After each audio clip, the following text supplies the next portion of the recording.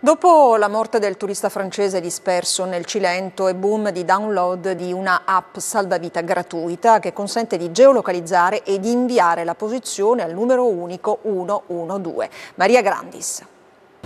Uno shock emorragico dovuto alla rottura dell'arteria femorale. È morto così Simon Gauthier. A confermarlo l'autopsia eseguita nell'ospedale di Sapri in provincia di Salerno. Fratture a entrambe le gambe. Dopo la caduta durante l'escursione in Cilento, lo studente francese sarebbe rimasto in vita 45 minuti al massimo.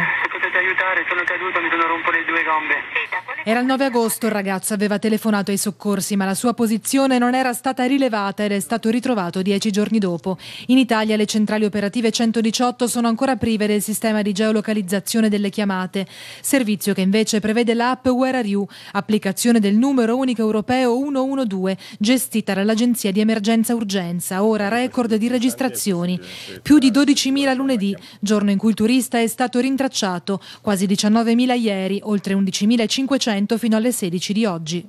L'app consente di effettuare una chiamata ai numeri d'emergenza e contemporaneamente trasmette la posizione di latitudine e longitudine che viene rilevata dal dispositivo telefonico. Eh, qual è l'emergenza?